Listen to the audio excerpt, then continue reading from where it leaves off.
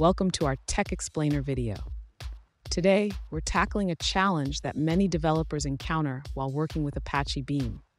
Our viewer is building a pipeline using the direct runner and is facing issues with their Combine FN implementation.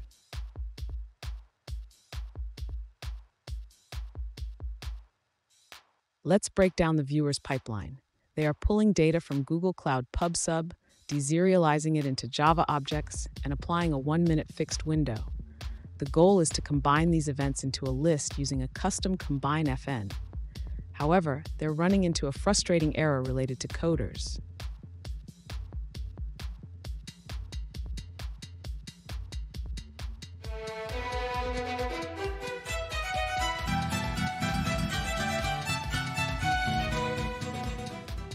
Welcome back to another technical video.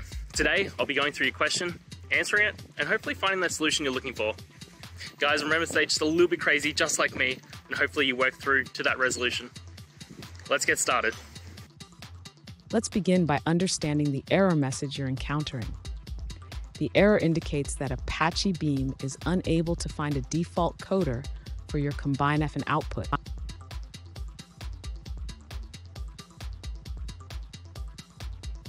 In your pipeline, you're using a Combine FN to aggregate events into a list. However, it seems that the output type of your Combine FN, which is Event List Wrapper, is not being recognized correctly.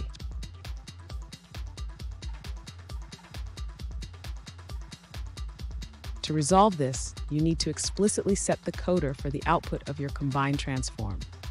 You can do this by using the set coder method on the PC collection after the combine operation.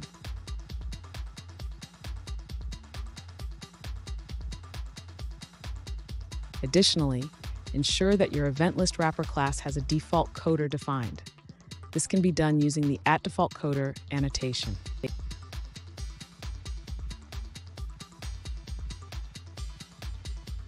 Finally, after making these changes, rerun your pipeline. This should resolve the coder related issues and allow your Combine FN to work as intended.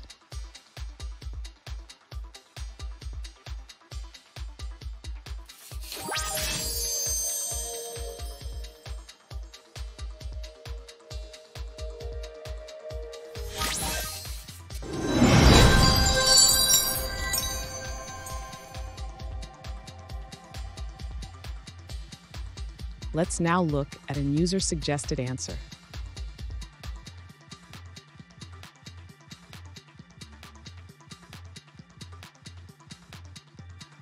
To resolve issues with Apache Beam and Combine FN, check if adding serializable to your accumulator class helps. Simply implement serializable in your Accum class.